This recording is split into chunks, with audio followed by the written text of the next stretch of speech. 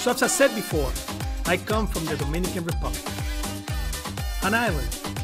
I'm an immigrant, and it's incredible to me what you white people have allowed to happen to you. Actually, on my YouTube channel and right here, I've been told that I'm a racist. How have you guys empowered people to just use your race even against other race? Why do you look down so much on yourself? You have allowed people to make you lose your pride of being who you are. Proud of being an American for most. I come from an island that we used to just always think that if he said made in USA, made in the USA, was a great product. Now you don't make anything. Your country's being taken from you. You're doing nothing about it. I've been called a racist because I believe in conservative values, the nuclear family. I'm a Christian. Because of all of these things, I have privilege. I do have privilege. The privilege of living in the United States of America. I love my country, the Dominican Republic, but I will never move there. Most of the negative comments I get about being a racist or that I get about being prejudiced is from you white people. You white people beat on yourselves. Why are you letting this happen to you? Why are you so weak?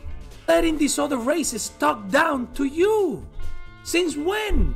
Being around the world, I know for a fact, and this one thing I do know, there's always used to be a thing. Oh well, you know, uh, well you don't you don't want to mess up with them Americans. Terrible, terrible what you guys are letting happen to your country. It's being taken from you and you do nothing about it. Why are you walking around feeling guilty of being white? Paying for reparations? What for what freaking reparations? What do you do that uh, causes you to feel sorry about anything?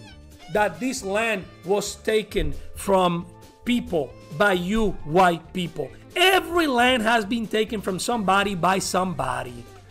Every land, every country. That's why it's a country because somebody put a border around it, conquered something, and called it theirs. Okay? By the way, most of the people that are calling you racist are the real racists. But you're handing that card out like nothing. Dominican Republic, again, I'm from there. You want to see some racist people? Yes. I'm calling out on these other cultures. You want to see real racism? Go to Central America, go to some islands. That's real racism, the way they treat black people. Black people are treated best, and myself, by the way, than in any other country here in America. But you're being sold out. You're being told that you suck. You're being told that you're racist, you're white privilege. What irritates me the most is that you have parents, you have a mom and a dad that love you, that are proud of you. Why are you walking around kissing boots and acting like you're nothing? Respect yourself and respect this country.